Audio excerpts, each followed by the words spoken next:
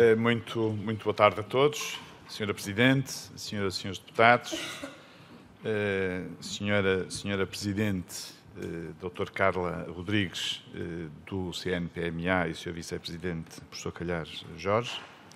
Muito obrigado por nos apresentarem estes resultados, por estarem aqui presentes. Estes resultados, de facto, são resultados muito importantes que nos vão levantar várias questões, seguramente. Eh, eu deixarei uma eh, na, na, no final desta, desta pequena intervenção que penso não, não pode ultrapassar os 5 minutos, certo? É o que está previsto.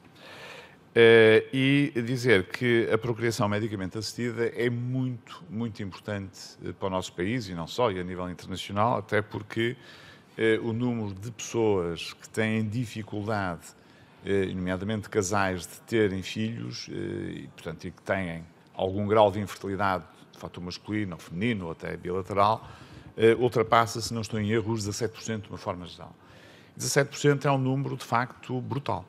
E é um número brutal que, se for devidamente compensado pelas técnicas de procriação medicamente assistida, que evoluíram muito, aliás, nos últimos anos e que hoje têm uma taxa de eficiência, se quisermos, de eficácia, eh, bastante melhor do que há uns anos atrás, eh, nós podemos conseguir, por um lado, aumentar a natalidade que é um dos objetivos, concretamente, do nosso país, é um objetivo importante, eu até diria, para um conjunto de indicadores fundamentais para o nosso país, eh, mas também, e não deixa de ser igualmente importante, aumentar a felicidade das pessoas, isto é, as pessoas poderem constituir família, as pessoas poderem ser mais felizes, e eu este aspecto, que é um aspecto que raramente nós falamos noutras áreas, aqui tem uma aplicabilidade que eu acho que é, é fundamental.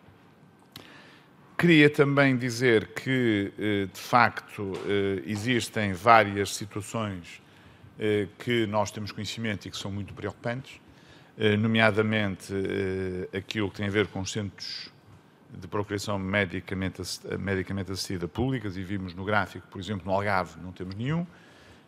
Verificamos neste gráfico que a diferença entre aquilo que é feito no setor público e no setor privado tem, obviamente, disparado para o setor privado, embora no setor público, como disse a professora Carla Rodrigues, de facto também aumentou, mas aumentou pouquinho, e portanto no setor privado aumentou muito.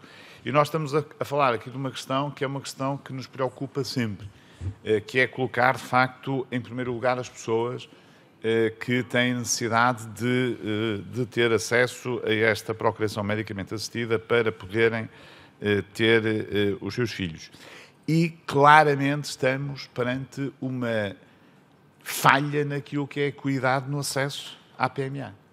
Estamos perante uma falha porquê?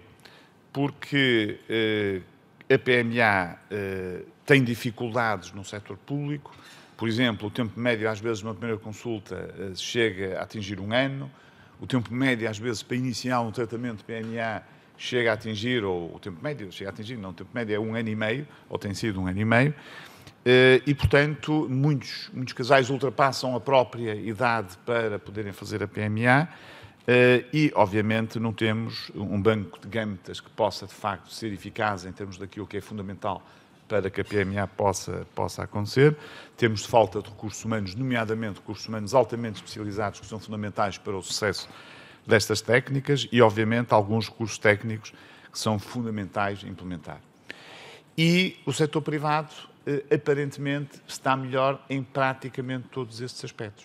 O que é que isto significa? Que quem quer fazer PMA para ter filhos, se tiver dinheiro, tem um acesso rápido, tem um acesso fácil. Se não tiver dinheiro, não tem acesso e não pode fazer. E por isso, os dados que nos foram apresentados, em que neste momento 70%, penso que são 70% eh, das técnicas de PMA eh, no momento atual são feitos no setor privado e 30% no setor público. E, portanto, estamos claramente aqui perante uma matéria em que nós temos necessidade de intervir, em que nós temos, de facto, que melhorar estes vários indicadores que foram apontados pela professora Carla Rodrigues, no sentido que a PMA esteja mais disponível para quem necessita dela eh, e seja o Estado eh, a reforçar, por um lado, aquilo que são os centros de PMA públicos e todos os condicionantes estão à sua volta, recursos humanos, banco de gâmetas, etc., seja através eh, da possibilidade de dar às pessoas a oportunidade de fazerem a PMA, nem, enquanto não existia um setor público, também um setor privado. Eu vou terminar, deixava apenas a questão à professora Carla Rodrigues, porque é que existe esta diferença entre o setor público e o setor privado. Obrigado. Obrigado, Sr. Deputado. Muito obrigada, Sr. Deputado.